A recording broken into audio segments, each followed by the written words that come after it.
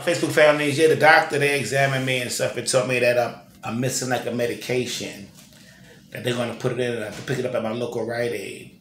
I didn't have the proper medication. That's why I was having like the tight chest pains and stuff, so and so. So everything's gonna get fixed up. He's gonna let me know. They said that I gained like um, five pounds over, which isn't good. You know, I couldn't stop helping myself from eating usually I would drink, but I'm not drinking anymore. So now I'm eating every damn thing I can get in sight. But I gotta calm down with that. But the doctor said, uh, other than that, everything should be all right. But it hurts like when I bend down, you know, my the heart, I, I can feel the pain in my chest. It get like real tight. But I want to thank all you cats for joining and watching, tuning and watching your crazy out videos. And I, I just pray to God every day that I feel better, you know. I'm sorry if I got you guys worrying. That's not what I want to do, you know. I'm here at the hospital. I'm being evaluated, checked out, you know, because I'm here for my heart. I've been having heart problems. At the beginning, my heart rate was at 25%.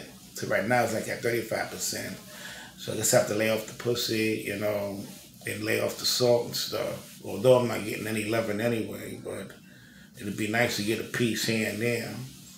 I just want to thank all you guys for joining, watching, tuning, and watching your crazy eye videos. Yeah, once again, I'm at the doctor's office. I've been weighed. And I'm like um, about 10 pounds overweight, you know what I mean?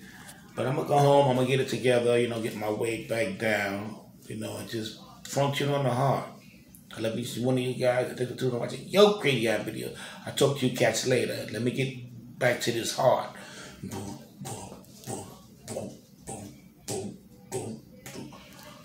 My heart's about to bust through that chest, man. I'm crazy eyed one up.